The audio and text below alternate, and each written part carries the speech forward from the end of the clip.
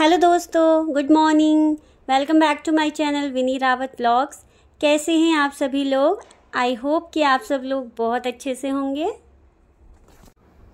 दोस्तों, हर नए दिन को हमें एक नए जोश और उत्साह के साथ स्टार्ट करना चाहिए।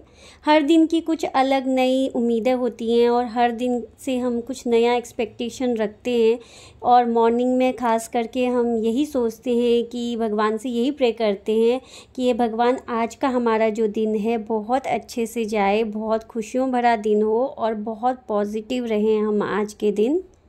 साथ ही हमें हर नया दिन कुछ नया सिखाता भी है और हर नए दिन के साथ हम कुछ नए एक्सपीरियंस लेते हैं अपनी ज़िंदगी में।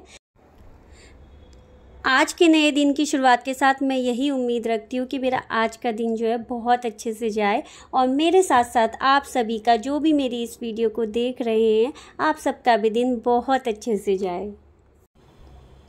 मेरी मॉर्निंग क्लीनिंग आज की जो है स्टार्ट हो चुकी है।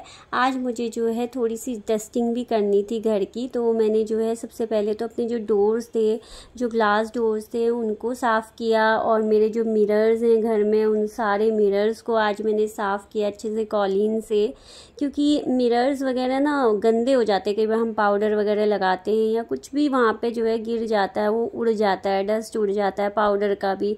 तो मिरर्स ना जल्दी गंदे हो जाते जाते हैं तो मैंने आज सारे जो है घर के शीशे चमकाए और उसके बाद फिर मैंने जो है जल्दी जल्दी पूरे घर में झाड़ू लगाया, क्योंकि झाड़ू तो डेली लगाना ही पड़ता है।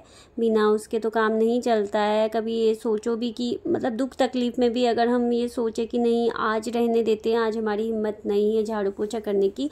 बट मन नहीं मानता है। जब तक एक बार दिन में घर में जो है झाड़ू पोछा ना हो जाए तो अच्छा नहीं पॉजिटिव फीलिंग नहीं आती है। भगवान का वास भी उसी घर में होता है, जो घर साफ़ सुथरा होता है और जिस घर में गंदगी नहीं दिखती है। तो ख़ास तौर से लक्ष्मी माता जो है, ऐसे ही घर में प्रवेश करती हैं, जो साफ़ सुथरा घर हो, घर आँगन सब साफ़ हो। अंदर तो जो है मैंने झाड़ू पोछा दोनों कर लिया है और ये मेरी छोटी बालकनी है और छोटी बालकनी की जो ग्रिल है ना, उसमें बहुत धूल मिट्टी हो रखी थी क्योंकि बाहर वाला एरिया जो है जल्दी धूल मिट्टी से भर जाता है और आजकल तो जो है थोड़ा बारिश का भी टाइम चल रहा है तो जब बारिश आती है ना तो उससे भी जो है ये ग्रिल वगैरह में मिट्टी मिट्टी हो जाती है। तो मैंने जो है फिर यहीं पर मैं अपना झाड़ू पोछा रखती हूँ तो मैंने वो पोछा धोने से पहले जो है फिर ये ग्रिल वगैरह मैं साफ़ करने लग गई और यही मेरी बालकनी का डोर भी है, ये आयरन डोर है, मैंने दो डोर लगाए हुए हैं, यहाँ एक ग्लास डोर है और एक ये आयरन डोर है।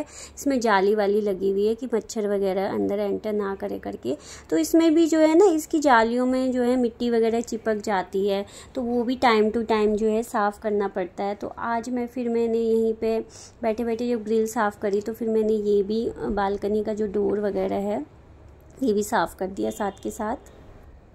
तो सारे घर की जो है क्लीनिंग वगैरह जल्दी जल्दी ख़त्म करके और अब मैं जा रही हूँ नहाने के लिए, क्योंकि आजकल गर्मी का टाइम है, थोड़ा सा भी कुछ काम कर लो तो हम जो है पसीना पसीना हो जाते हैं। तो फिर मैंने जो है जल्दी से नहाया और पूजा वगैरह करी अपनी। धूप बत्ती से फ्री होकर फिर मैं आ गई किचन में। मॉर्निंग में मेरे हस्बैंड जो है दूध लेके आए हुए थे और वो मैंने गर्म करने के लिए चढ़ाया भी नहीं था क्योंकि ठंडी था, ठंडा था उसका पैकेट तो मैंने सोचा बाद में इसको गर्म करती हूँ। तो सबसे पहले मैंने जो है दूध ही चढ़ाने के लिए रखा गैस के ऊपर क्योंकि दूध ना मेरा मोस्टली जो है उबाल आ जाता है। मैं भूल जाती हूँ उसे चढ़ा के और फिर जब याद आता है तब तक तो वो उबाल आ चुका होता है। तो अभी जो है मुझे किचन में ही थोड़ा काम था तो मैंने सोचा कि साथ के साथ जो है मैं ये दूध भी चढ़ा देती हूँ। ब्रेकफास्ट के ना बर्तन रखे हुए थे, वो मैंने धोए नहीं थे तो मैंने सोचा कि जब तक मेरा दूध उबल रहा है, मैं जो है ये बर्तन धो लेती हूँ और साथ के साथ जो है मैं देखती भी रहूँगी कि दूध उबल गया है कि नहीं उबल गया है। और लकीली आज जो है दूध उबाल आने से बच गया है। ये देखिए पूरा मैंने टाइम पे जो है गैस को बंद कर दिया था। तो किचन में ही काम करते हुए दूध चढ़ाने का ये एक फ़ायदा हो जाता है कि हम भूलते नहीं कि हमने गैस पे जो है दूध चढ़ा रखा है।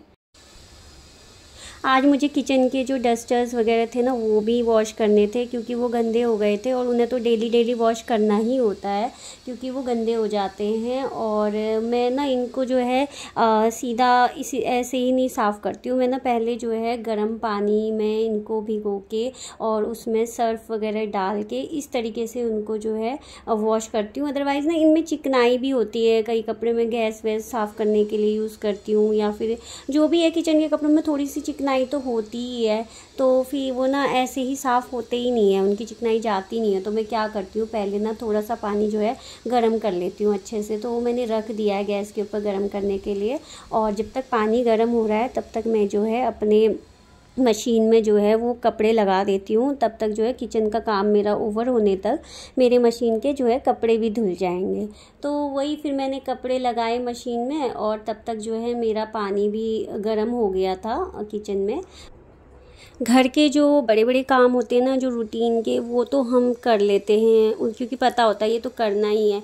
लेकिन ना, कुछ काम जो छोटे छोटे से होते हैं ना, जो दिखते नहीं है, लेकिन वो करने ही होते हैं। तो ये किचन के जो डस्टर्स वगैरह साफ़ करने का काम है ना, ये भी ऐसे ही कामों में आता है। क्योंकि ये काम ना कुछ दिखता तो है नहीं, लेकिन ना, ये काम भी बहुत इंपॉर्टेंट होता है। क्योंकि अगर ये जो डस्टिंग के कपड़े ना, साफ़ नहीं होते हैं तो फिर वो ना, और गंदगी कर देते हैं किचन में। फिर, और किचन ऐसी जगह है जहाँ पे हमें जो है हाइजीन से रहना ही पड़ता है अदरवाइज़ मक्खियाँ वगैरह और आने लगती हैं।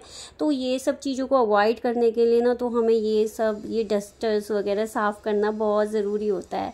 तो वही फिर मैंने गर्म पानी में इनको अच्छे से सर्फ डाल के पहले रगड़ रगड़ के साफ़ किया ताकि इनकी जो चिकनाई है वो साफ़ हो जाए। और उसके बाद फिर टैप वाटर से इनको जो है अच्छे से साफ़ करके फिर मैं इनको जो है बाहर सुखाती हूँ। बाहर किचन के कपड़े भी ना मैं बाहर जो कपड़ों वाली तार है ना उसमें भी नहीं डालती हूँ, क्योंकि मुझे ऐसा लगता है कहीं कुछ ऊपर से गंदगी वगैरह कुछ ना आ जाए। वैसे तो मैं शीट्स वगैरह लगा के रखती हूँ बट मैं इनको ना अपनी जो छोटी छोटी वाली बालकनी में उसमें अंदर की साइड ही इनको सुखाती हूँ या फिर किचन में ही इनको फैला देती हूँ ताकि ये वहीं सूख जाएँ। किचन का काम मेरा ओवर हो गया है और मेरे कपड़े भी धुल चुके हैं अब तक और बाहर अच्छी खासी धूप आ रही है तो मैंने जो है सोच जल्दी से ये कपड़े भी अभी तार पे फैलाने स्टार्ट कर दिए। दोस्तों, आज का ये व्लॉग ना मेरा छोटा सा ही बना है, जिसके लिए मैं माफ़ी चाहती हूँ। और क्योंकि इसके बाद ना मैंने कोई वीडियो शूट नहीं की थी तो आज की ये वीडियो बस इतनी ही है। अगर आपको जो है मेरी ये वीडियो पसंद आई हो तो प्लीज़ वीडियो को लाइक कर दीजिएगा।